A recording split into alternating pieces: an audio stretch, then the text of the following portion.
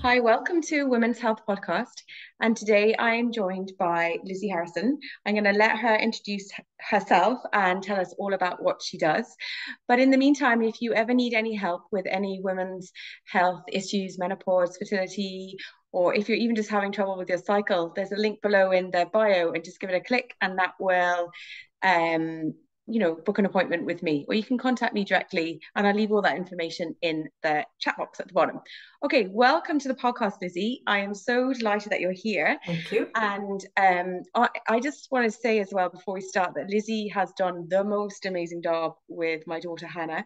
She filled her with confidence that I can't even tell you that she was able to really move forward with her life and grow into the beautiful person that she's growing into or she is mm. and that was all thanks to your help it was amazing the work oh. that you did with her Thank you very much. Well, I will reciprocate that by saying I have been going to Lucy for acupuncture, uh, advice and nurturing and the most wonderful dietary and lifestyle advice in recent years when I'm struggling so much with menopause and menopause mushy brain.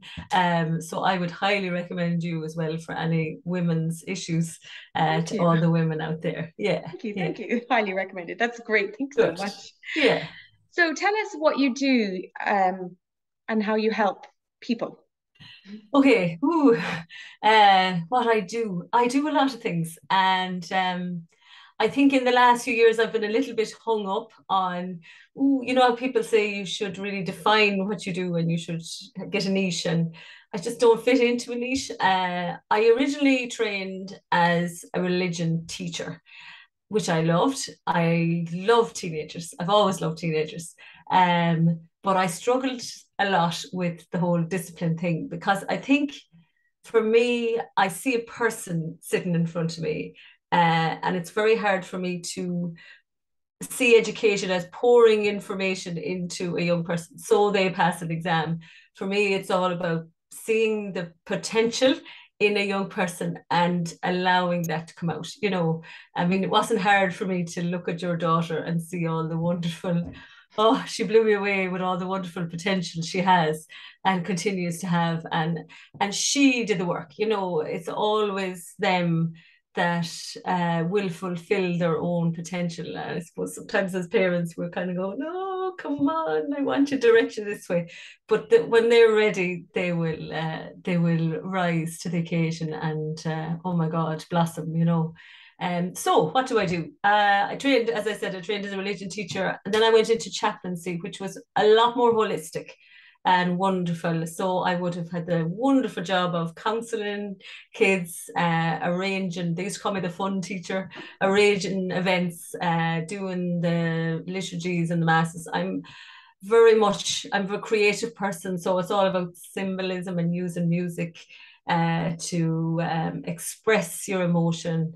Um, I, I am involved in religion, but I'm very much someone who is a spiritual person and I'm open to all types and creeds of spirituality. But my spirituality is grounded in, in my Catholic tradition, um, but I'm open to all. And um, sometimes I suppose the comment I've got from, from young people around religion is, you know how is it you're smiling so much? And for me it's all about joy. God is all about joy and god is love and whatever way that comes to you that's that's where i'm focused from. Um so in recent years then my two children were diagnosed with autism so i suppose i had to step back a little bit. And I had moved from Dublin down to Esker Monastery to work there in youth ministry and did wonderful work with teenagers there. Um, but I just couldn't give that commitment of full time. So I trained as a life coach and suddenly discovered, oh my God, I have a lot to work on myself. Uh, I think after 40 years, I finally heard the self belief uh, that I had been carrying through all through school, all through college. You're stupid. I'm stupid. And I kind of suddenly went, that's not true. How could I do all this all the way through school and college if I was stupid? Um, so for me, doing life coaching had more of an impact on me than any person I've had since. And I suppose it gave me that realization we're all carrying these negative self beliefs that are holding us back. And if I could just get in touch with young people and and help them to realize it's only a thought and a thought can be changed. And they're not the only one. And you know change that self-belief and look at that self-belief and challenge it um, and and get them in touch with their inner potential. Again um, look at the amazing opportunities that would arise for them. Um, so i also in the last two years i struggled with my health. I had a kidney transplant 20 years ago yesterday. Uh, so I had my kidney versary. Uh, Sydney is down here. Uh, I've one at, one at the front and two at the back that don't work anymore. Um, and for me, probably losing my health was the best thing that ever happened to me because for the first time in my life, I had to look after myself. And I always said before that, you know, if anything happens to me, it'll be okay. But please don't let anything happen to my friends or my family. But suddenly I lost my health and I had to look after myself and I had to challenge the, the negative thoughts I had been telling myself. I had to be able to look in the mirror and instead of hating myself, start to love myself again and nurture and take care of myself. So um, I over the years I have had mental health challenges and have gone to counseling and it's been very transformative and very helpful um, but then I suppose the life coaching was another layer of that because it's based on positive psychology. So instead of dwelling on the past, um, you're looking to the future and setting goals and challenging negative beliefs, and it's very proactive and it's very positive. Um, and the other huge transformational um, element in my life has been mindfulness.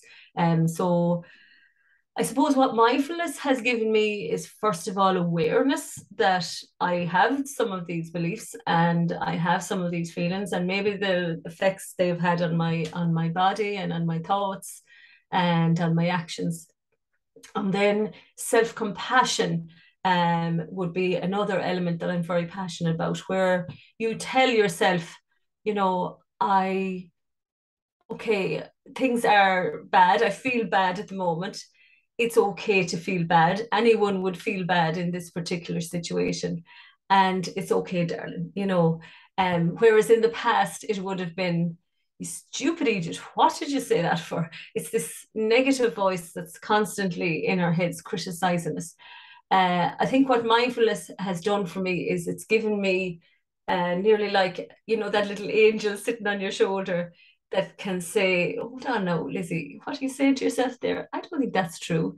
Um, instead of in the past, I would have been in it and believe in it. And I think for a lot of teenagers, that is the case. They they look in the mirror, all they see is ugly or fat, or you know, they they have such negative um talk uh, to themselves. And uh, you know, for me, it was that transformation of, of, of being able to look in the mirror and actually love what I see and, you know, kind of say, God, you're looking good today, Lizzie. You know, changing that tape. Um, it took, it took the, the the bad times, it took the mindfulness, it took the counseling, it took everything to shift that. But it has shifted and I'm very, very blessed. And I suppose as a life coach, what I want to do, I am passionate about teenagers. What I want to do is help them to shift that too and just open up that potential, that wonderful life that's there. Um, today, the Leave Leaving Cert results came out. I mean, whoever decided that you could be defined by a set of numbers on a page, you know, um, I didn't know when I was 18 that I would end up as a life coach or a mindfulness teacher or a singer, actually, in recent times. Um, and life just unfolds like that. As long as you keep following what you love, what you enjoy, what brings you joy, life will unfold and it'll bring it all to you. Um, yeah. So have I have I answered that question? What do yeah, I do? loads of questions. There's lots of questions to ask you back now. Good, good, good. Lots yeah. lots of questions. So yeah. um you know, I think going right back to the beginning, you were saying as parents, we mm. want the best for our children, yeah. but sometimes we think that they should go down a path mm and that they actually really, you know, the path that, you know, say like be a medical doctor, say, yeah, but actually yeah, they want to be a mechanic, completely something completely different. Like, um, how do you, what, what advice would you give a parent who is struggling with that teenager, who's maybe got their leaving research results today and they've enough points to do doc, become a mm. doctor, but actually they're going, no, I'm going for apprenticeship to do be a mechanic, you know, and that's because it can be devastating for parents when you're when your children don't do what you expect them to do. yeah, yeah, yeah, yeah. Um, I suppose like do did we do what our parents expected us to do? Um, I remember being very um be very proud of myself because my my my parents were very proud I was becoming a teacher. Like when you were in secondary school, it was like you become a teacher, you become a nurse, you become a doctor. You know, there was like set defined roles of what you become. Um, and I suppose I slid into that because that's what I thought was expected of me. That's what I thought I'd be good at, and this this is the only way I can fulfill my love of faith, my love of young people, my love of music as well. You know, as a teacher, you get so many opportunities to to be creative. Um, I didn't see any other options, and nobody sees other options. And the the jobs that exist today didn't exist ten years ago. Like whoever knew you could become a millionaire from putting videos up on YouTube, you know. Um, and and 10 years time the jobs that'll exist then don't exist now. And it is those young people that are creating those jobs you know um the world is is changing.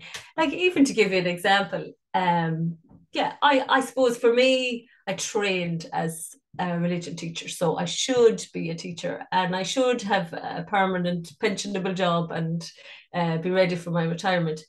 Over covid i started singing online and getting paid for it I've never been paid for singing. I always loved singing. I've always been a singer. I w- sang for the um, what you call it, Carers Association. I sang for the Wheelchair Association. Um, like who knew you could get paid by being online? Um, I coached two people in England. Like it's amazing. Like the opportunities that are starting to become available. But I think when you have fear in your mind, it blocks creativity, you know. And even if you think of the brain itself, you know, this part of the brain, the prefrontal cor- cortex, I'm really interested in neuroscience and uh, I'm really trying to use that. I use that with teenagers all the time because they get science, it's tangible and, and they, so the little tricks and tips that I give them that help them. So if you if you see your fist as the model of the brain, this part of your brain is the prefrontal cortex, and that's the part of your brain that's to do with creativity and reasoning and planning and learning. Um, and then something happens, an event happens, or you experience fear. Fear is such a trigger for, for this, and your brain flips and suddenly you don't have access to that part of your brain at all. And even teenagers, they don't fully dis, um, develop this part of the brain until they're 25.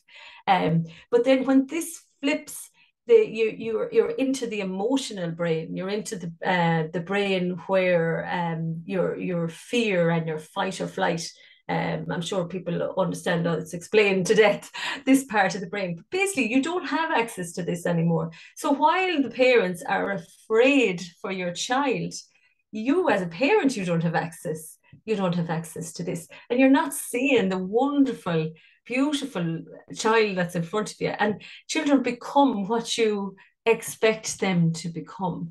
Um, and and uh, if you see the potential and trust them and see the things that they can do um, it's amazing what they can do. Like even daniel my my son is is autistic and oh my god he teaches me every day he's he, he's fearless he he doesn't care what anyone thinks of him he brought me uh busking during the summer and suddenly i'm earning money through busking you know um i was terrified i was shaking i I could actually feel my heart in my neck pounding uh, with fear.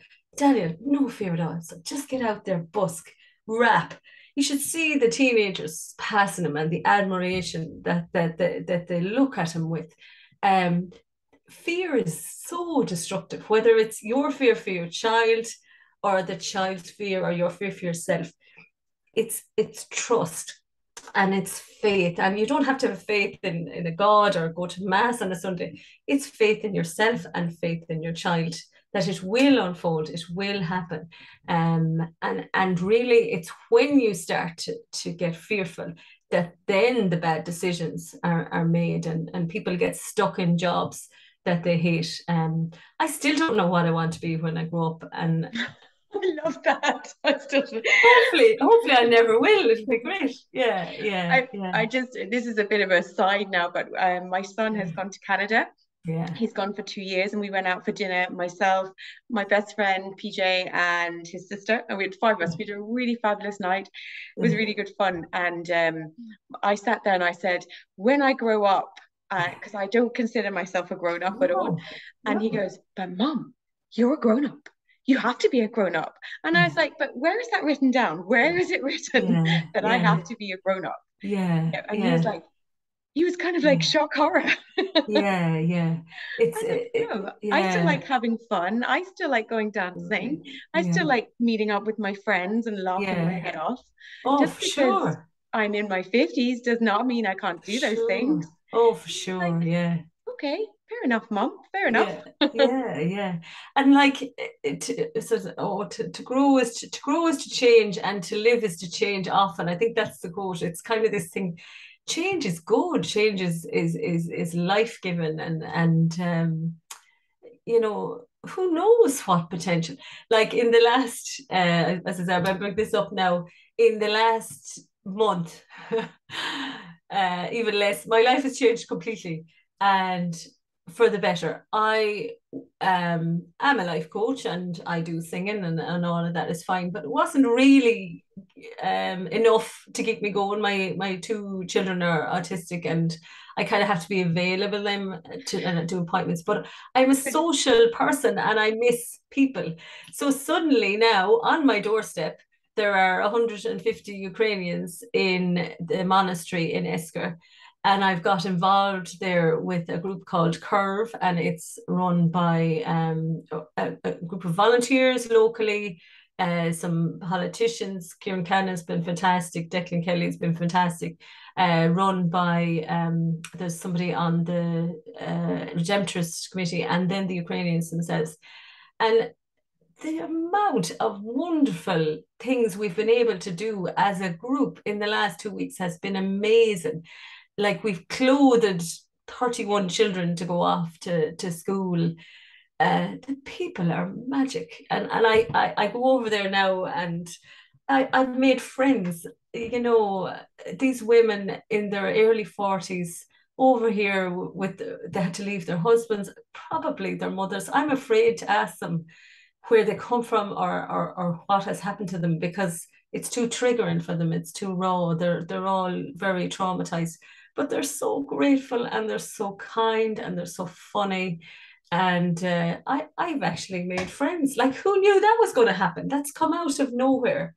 But it's like suddenly everything I've ever learned and all the people I've ever gotten to know, I'm able to connect it all and and bring it together with with bring these skills together to help these people. So you don't know what potential your child has. You don't know what they might be able to come up or what the world brings to them. But as long as they keep following their heart, as long as they're joyful and keep following their joy, then they're they're on the right path, you know. Um yeah, who knows what, what, what the world is going to bring, you know? Yeah. I'm going to bring you back to your own children, your yeah. two boys. Yeah. How when you and, and I know this because I I well, I know you from coming yeah. to my clinic, but yeah. I also know I have other women that I do know who have children who are autistic, or maybe mm. someone on this podcast whose child could be possibly being mm-hmm. diagnosed mm. with autism. Um, like, how did you cope with this? Was it a shock? Was it anger? Were you very upset? Were yeah. you mad at yourself? And there's a yeah. billion questions there. Sorry to yeah, answer. Yeah, yeah, but, yeah. You know how how how did you cope yourself and your husband? Yeah, I, I suppose just a bit of a backstory to that. I had a kidney transplant when I was uh, 20, uh, oh God, when did I have it? When I was 30, uh, and I, I got married. I never knew I'd meet somebody. I was sick for five years. I never knew I'd get married. I never knew I'd have children. So when my children came along, it was such joy and, and such elation. Oh my God, I never thought this would happen. And then they were diagnosed. It was like, hold on now, the child I thought I had is not the child I have. So I grieved. I, I think I think whenever you experience a loss, people forget that. I grieved when I lost my health. I grieved when I was told my children had autism because whenever something happens to you that it's a loss of something that you expected to be different, you're going to grieve, and that's okay.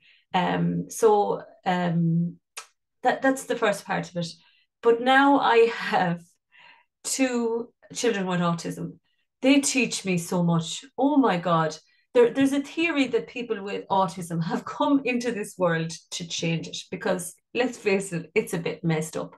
Like Daniel is is nearly 16. He cannot see uh different like uh, why difference in people should make a difference. He can't understand racism. He can't understand the war in ukraine. He can't understand someone being mean to someone else.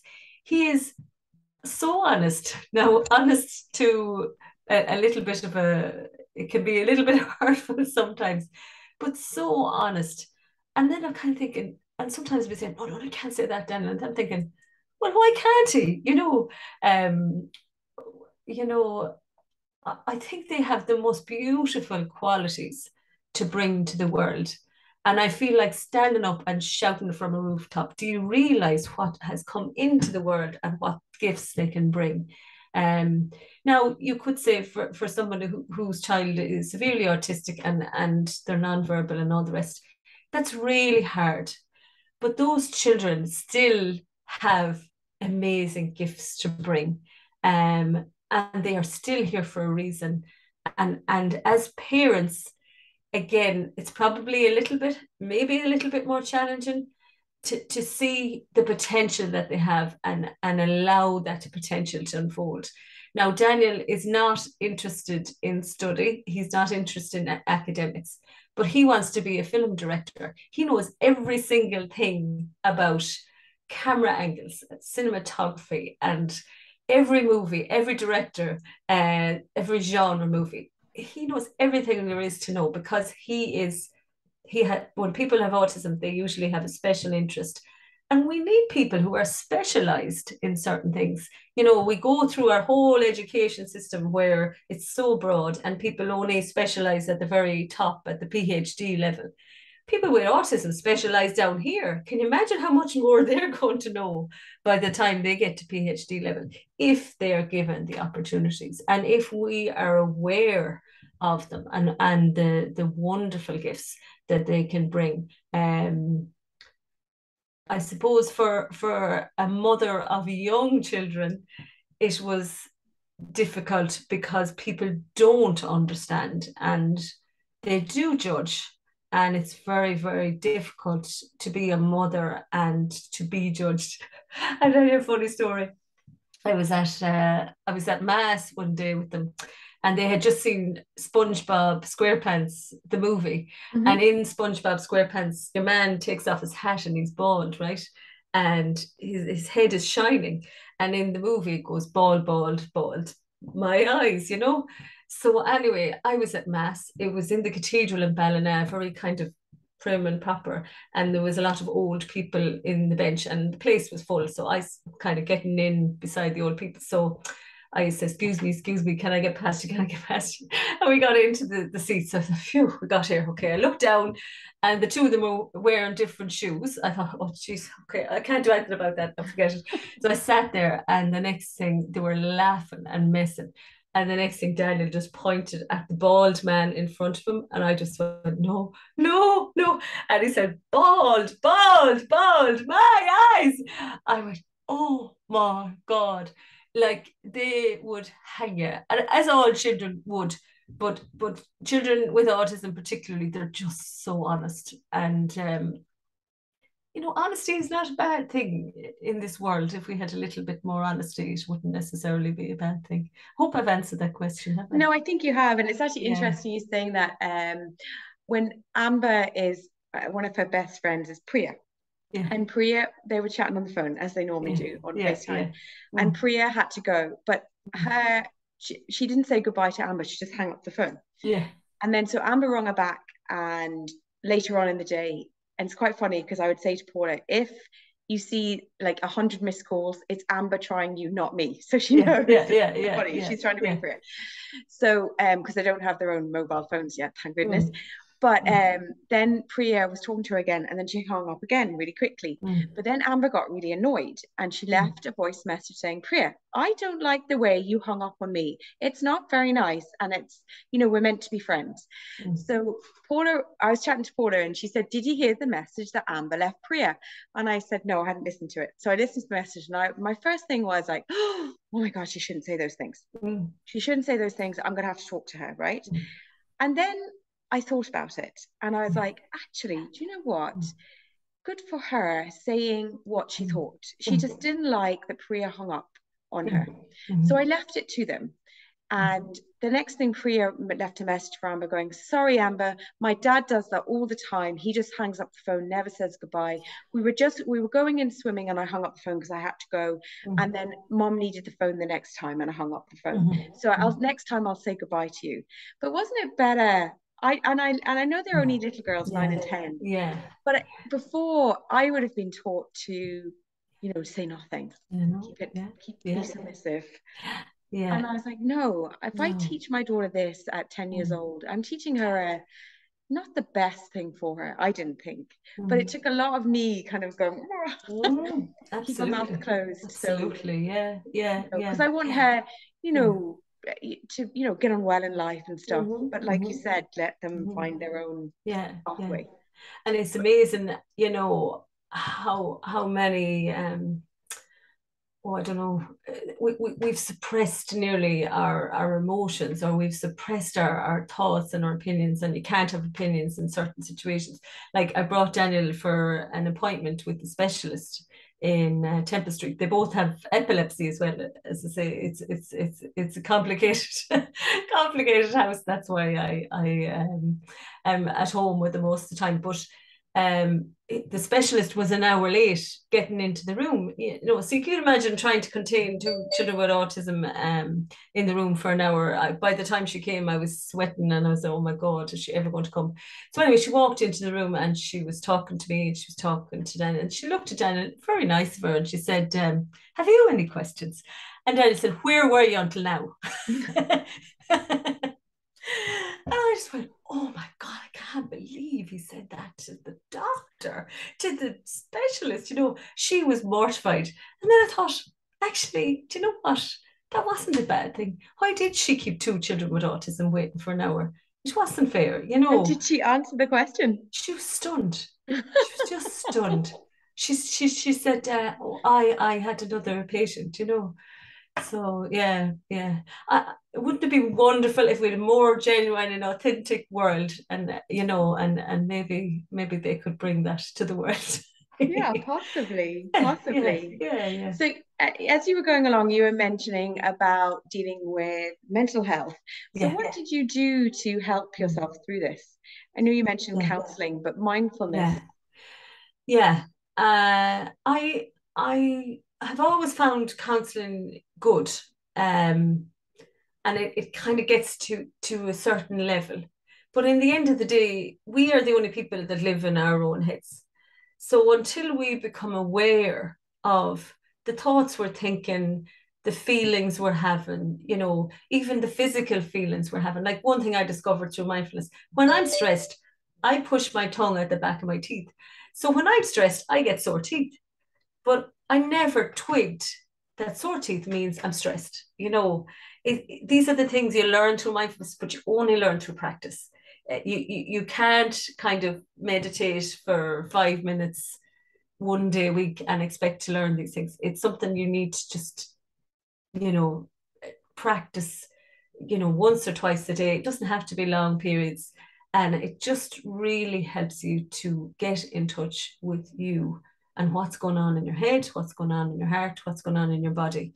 Um, just just to ground you.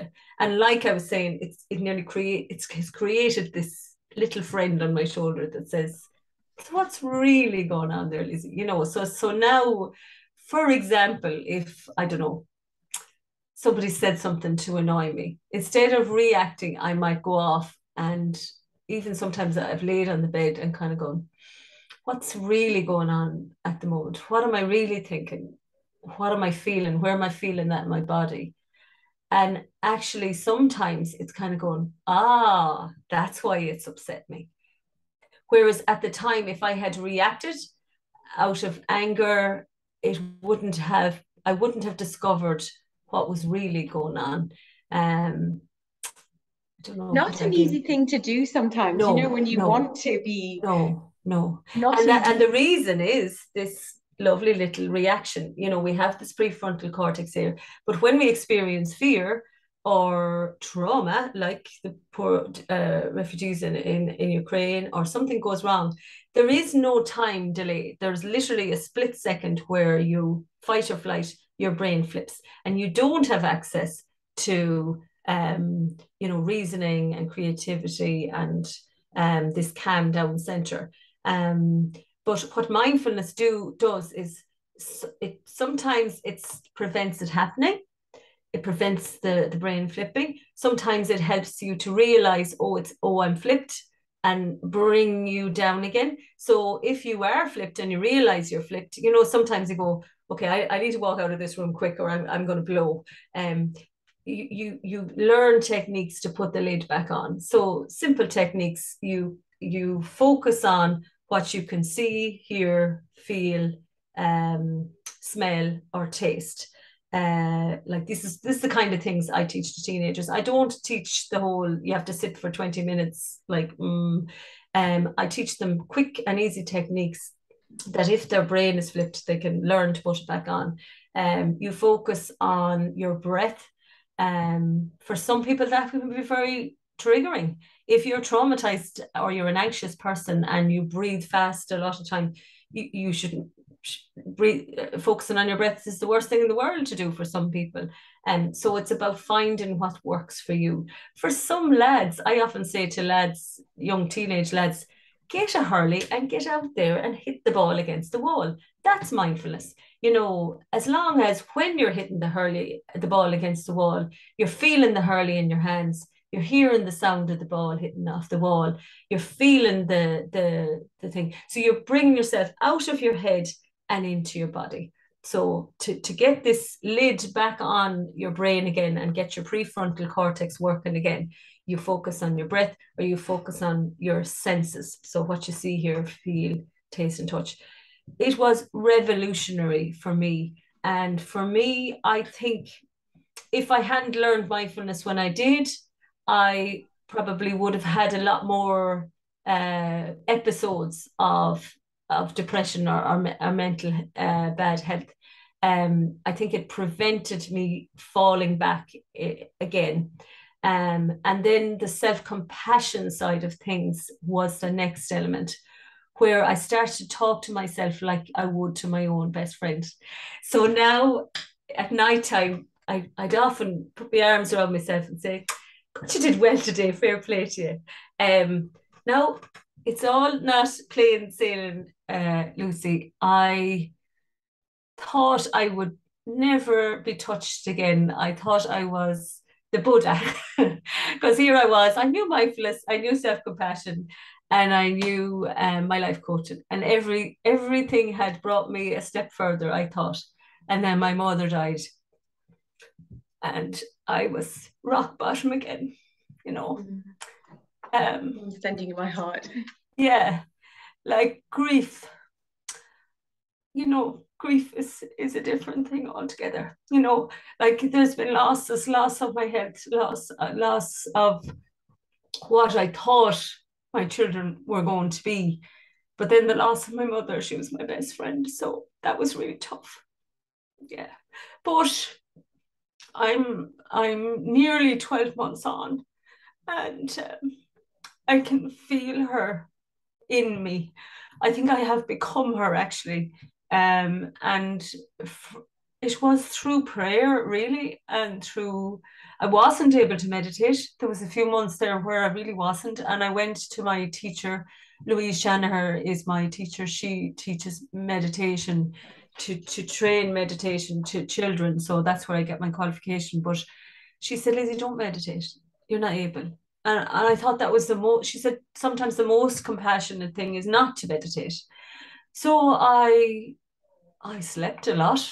I took to the bed some days. Um, I I didn't eat very well at times, but you know what? Looking back on it now, I kind of said I didn't give out to myself too much, and I think that's important. You know what you can do, you can do, and just let yourself take it a tiny step at a time. It won't always be this bad, you know. Uh, so yeah, now I feel and and actually what I have done in the last few months is I created a CD. I'm really plugging myself today, haven't I? Yeah, no, you're I've, right. Uh, created a CD of hymns in honor of my mother. I have been singing on a choir since I was four. And I remember sitting on the choir in Ardagh, where, where I'm from, in Ardagh Parish in Mayo, and she'd have her arm around me and she'd be saying, "No, we're in God's house now, and this is what happens here." And you see, to me, religion was never, you know, about the priest in the long garment and you do that and you do this. It was about love. It was the Gospels to me are about love and about justice. You know, the the um the Gospel on Sunday was all about humility. You know, um, if you for me the sign of of a religion that is in trouble is a sign that of a is a religion that's very judgmental um or or very black and white you know that doesn't that doesn't include compassion it, it has to be about love it has to be about compassion it has to be about justice and about service and the poorest of the poor that is where god is you know if you ever get the privilege, which I am again, when I was in Dublin, I was a chaplain in Crumlin and I had the privilege of working with the poorest of the poor. And once again, I'm back working with the poorest of the poor. And I don't mean they're they're materially poor. These people were professional people in the Ukraine, but they've lost everything, you know. And when you've lost everything, what else is there only love? So that's where God is, you know. Um, and uh, it's such a privilege to be in that place with those people and just holding that space for them where they know that they're loved. Um, it's it's it's wonderful. Yeah, yeah. Um, I, I go off on a lot of tangents, don't I?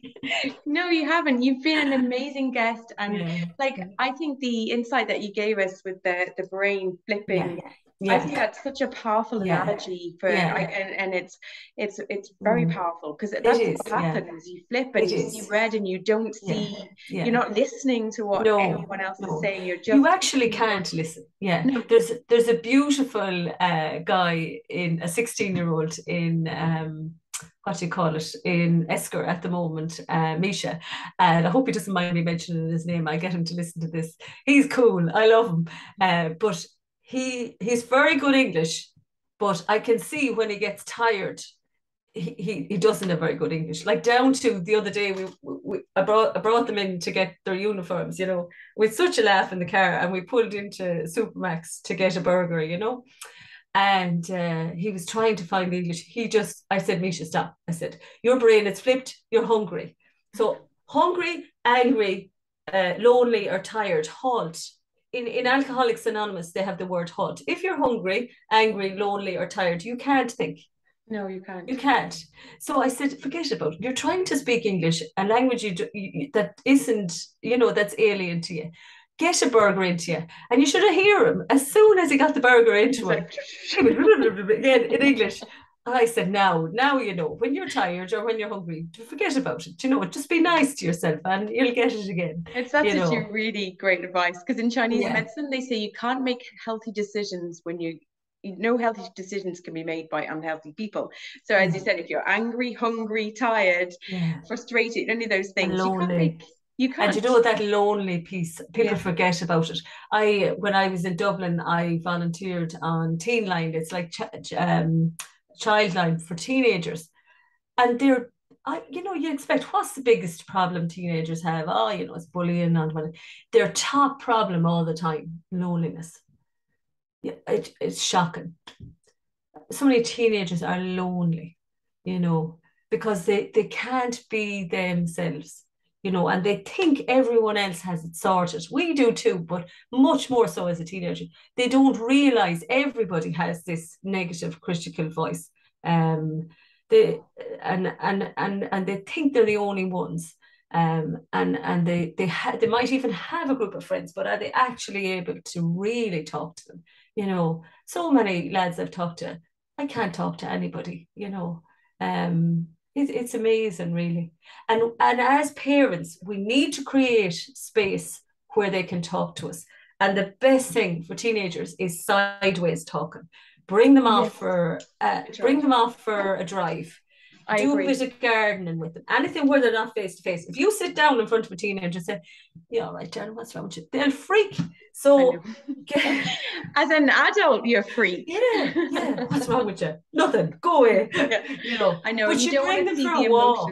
You know, Yeah. like a young lad lately I was coaching, he said, um, big lad, like he said, I love going for walks with my parents and my sister. Wow, they're fabulous.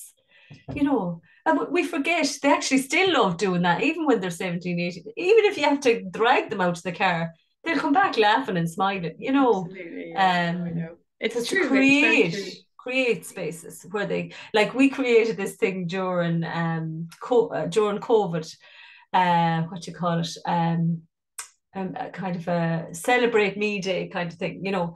So we have uh, we had a Dermot day, and let's have a Dermot day. And Dermot then in the beginning of the day would have to say thr three things that he wanted us to do for him that day, and uh, you know, and and we'd we'd say, oh yeah, sorry, it's it's a you're a great day. So as soon as Dermot arrived down in the morning, Dermot, you're great. and he had to pick what he wanted to do for the day and just a day where you focus on him. Um, that was fantastic. And like they're still asking, can I have a Dermot day? Can I have a Daniel day? And I'm kind of going, can I have a Mammy day? well, why not? She should have a Yeah. mama day. I do, I do have Mammy days. And and I suppose they you you think by taking the the Mammy day that you are doing them a favor and that you're looking after them all the time. Isn't that great? But the benefit they get from you taking the Mammy day is huge. huge. You know, you come back refreshed, you come back full of energy, full of life, and you can actually give again. You know, you can't, I know it's ridiculously overstated, you can't fill from an empty cup, but you can't, you know. Um, and then look at I, I've had I've had uh, a few years now where it was very hard to get to get a babysitter. It's very hard to get time for yourself. And I understand that, especially single mothers. I don't know how single parents, I don't know how they do it. Um, but just if you can at all, get time for yourself and spend time for yourself. It will flow back to them in so many, and then it teaches them that it's important for them to do it. You know, I found with the girls in in Crumlin, so many of them became their mothers and and and and and became their mothers were these wonderful, powerful, strong, sac- self-sacrificing women. And then their daughters became these wonderful, strong, self-sacrificing women.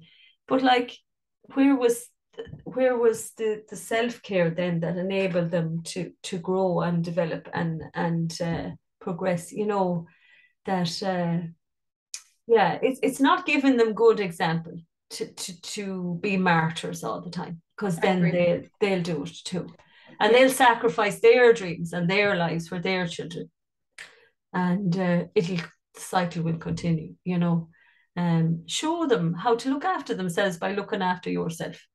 You know, uh, it's really important. I have all this sorted. I know exactly how to do this. I never get wrong, do I? oh, Lizzie, yeah. that is the, the best advice. It is. It's about yeah. putting your own oxygen mask on first. Yeah. And it's kind of surprising how many people don't do that. Men and yeah. women. Actually. Yeah, yeah, yeah. But look at I'm my own worst enemy. And again, a sign a sign of a bad religion is judgment and and I I can't judge I I'm I can be plenty self self sacrificing myself but I know it's not healthy you know it's it's not good for you it's not good for your children you know.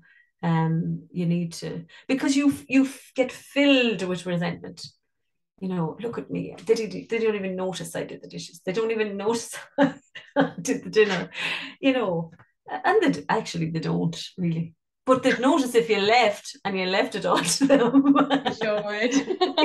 yeah, yeah, would. Yeah, yeah, yeah. yeah. Lucy, I just want to say thank you for being the most amazing guest and being so oh. honest and open, uh, you. you. know, and about what you do and yeah. coping with life and life yeah. skills. Because it's, you know, it, it is true to life and being very emotional about your mom, um, because it will help so many people. Yeah, yeah. I, I, I don't I'm not a toxic positivity coach. Life can be, am I allowed to curse? Life can be yes. bad. yeah. Life can be shit. Shit happens. Shit happens. But reach out. There is help. There is people. You know, everyone's at a different stage. Um, there is things you can do. And, and I think the most important thing you can do is be compassionate to yourself you know treat yourself like you would your own best friend. You know the things we say to ourselves sometimes would we would we say to a dog? You know we need to treat ourselves uh, with so much compassion and then we will grow we'll get through it. They say it takes 40 seconds for an emotion to pass through your body but if you keep pushing it away it's never going to actually go away. Whereas if you just say i'm actually quite angry right now and allow it and let it be there. There's no such thing as a bad feeling. Um, and in, in Buddhism, they have this thing: two arrows of, of, of suffering. You know, you you feel bad, and then you feel guilty because you feel bad. You know, just feel bad. It's okay to feel bad. Um, and then you know the good will come. The bad comes and the good comes, and we're somewhere here in the middle. And life is tough, but there are a lot of good people out there. There are a lot of positive things and to try and and bring yourself more towards the positive you know? Um yeah. Okay. That's, that's a really no it's brilliant. I like that yeah. the two arrows guilt yeah. and then um, know, feel bad yeah. and then guilt. That's yeah. so true. That's so I true. I feel guilty I feel bad. Yeah. So true. Yeah and it layers so you know? if anyone wants to get uh, in contact with you how can mm-hmm. they do that um, so I have an email address, Lizzie Life Coach at gmail.com. And uh, that's probably the best way, really. Uh, I have a mobile, but I probably won't. Yeah, give me get, send me an email. Lizzie Life. Coach. Now it's L I Z Z I E um, and uh, life coach at gmail.com and yeah i i do stuff with one-to-one with teenagers. I do mindfulness. I go into schools secondary schools particularly because i love teenagers. Um and uh, i'm available now for singing as well. I may do a world tour of all the shrines uh, with my with my hymn. That's what i call hymns volume one as as my sound recording artist called it. But it's actually going to be called um, Grace Will Will Lead You Home. Because on the CD, um, my son, my two sons, my two nieces, myself, and my mother sing the last song. I have a recording of her singing the last line uh, of Amazing Grace on her own, and it's Grace will lead you home. You know, she was always talking about going home, and I know she's gone home. I didn't want to let her go, but she's gone home. Yeah. Beautiful. Yeah. Okay. I'll add all that into the bio at the bottom. Good, good. Okay. Yeah, yeah. Okay. All right. Thanks. Thank you so much. Thank you. All right. God bless. Bye. Bye bye.